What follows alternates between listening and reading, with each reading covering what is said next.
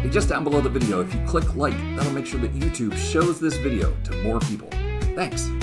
This is going to blow you away today. Episode 2652, we're going to analyze three Excel financial statements using Copilot, but not in Excel. This is amazing.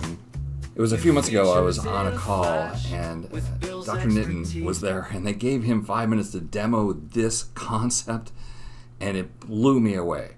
I, I want you to subscribe to Dr. Nitin at Efficiency365 at YouTube. He has great videos on Copilot, on Excel, on Power BI. Just an amazing channel.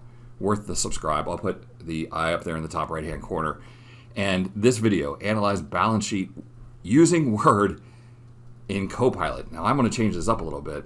Uh, here is a worksheet that Copilot in Excel would not be able to do a thing with. All right, this is data that I pulled down from SEC Edgar. Yes, I had to clean it up because it came down with some merged cells and stuff like that. But at the top, we have the consolidated statement of income, and then after that, the balance sheets, and then after that, the statement of cash flows. Right? This is an ugly data set that if we use this Copilot in Excel, uh, they would have no clue what to do with this. I'm going to change up Dr. Nitin's example, and I'm going to come to OneDrive. And here's the Coca Cola financial statements. It's just that worksheet I showed you.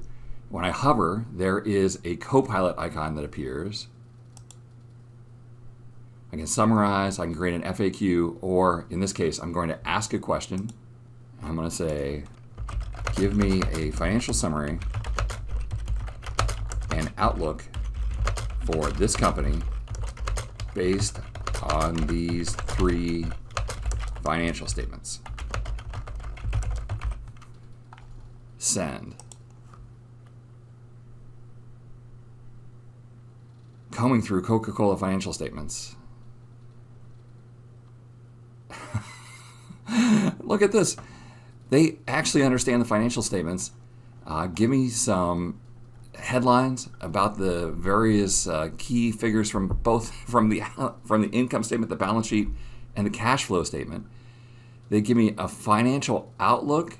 You know, however, the de- decrease in net cash and their increase in net cash used in investing suggests that the company is investing heavily in operations and financing activities. Uh, strong financial position. Uh, here, here's another one. This is another one that Dr. Nitin did.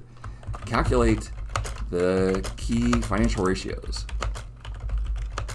from this from this set of financial statements. they understand all of these key uh, key finance ratios and they calculate them. This is astounding. All this time that I've been using Copilot in Excel, where it tells me it can't create a pie chart and then creates a pie chart, uh, it, it seems so limited.